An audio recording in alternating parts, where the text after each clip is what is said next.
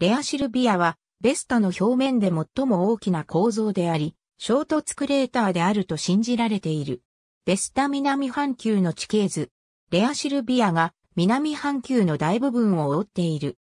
直径は 505km で、ベスタ自体の直径の90%を占め、太陽系の天体の最も大きなクレーターの一つとなっている。南緯75度に位置し、南半球の大部分を覆っている。このクレーターは部分的に直径 395km の別のクレーターで、あるベネネアを覆っている。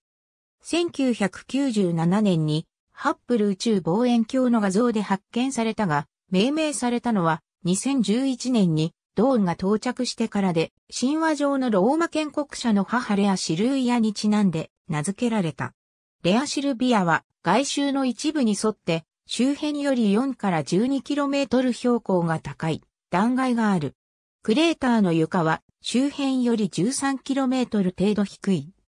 この盆地の中心は盛り上がっており、直径は約 200km、ふもとからの標高は 22km と太陽系の中で基地の最も高い山である。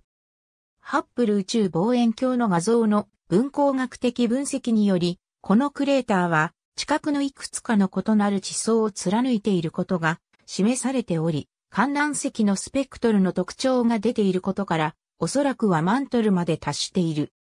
ベスタはレアシルビアと同心の赤道領域に一連の谷を持つが、これらは衝突に起因する大規模構造であると信じられている。最大のダイベイリアフォッサは幅約 22km、長さ約 465km に達する。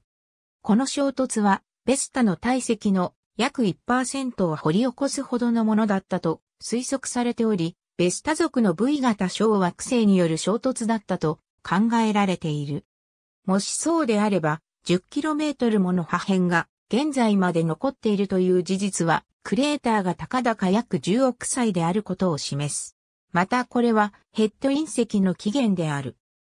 基地の V 型小惑星は、噴出体積の6%を占め、破片の残りはおそらく小さすぎて見えないか、ヤルコフスキー効果、または放射圧によって3、1のカークウッドの空撃に達して小惑星体から除去されていると考えられている。ありがとうございます。